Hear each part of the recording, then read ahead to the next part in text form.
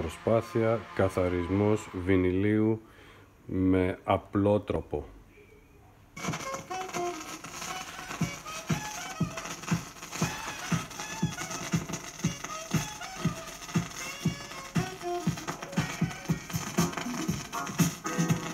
Εδώ είναι πριν το καθάρισμα. Αυτός είναι ο δίσκος. Και πάμε. Κάναμε το πρώτο χέρι. Θα δείτε η διαφορά είναι πάρα πολύ μικρή.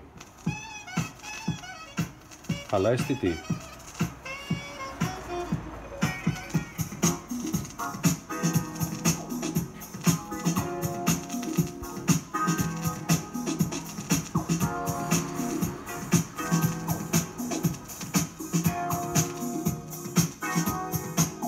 Πάμε για τα επόμενα χέρια.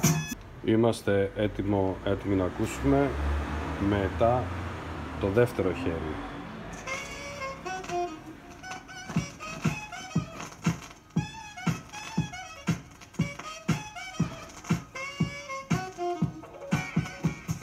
Εκτός από την αρχή που οι γκρούβες είναι τραυματισμένες μετά έχουμε μια αισθητή αλλά πάλι πάμε για το τελευταίο ή προτελευταίο χέρι.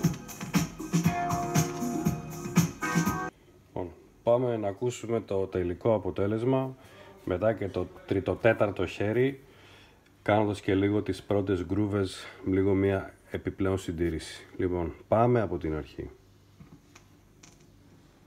Πολύ αισθητή διαφορά. Πάρα πολύ αισθητή διαφορά.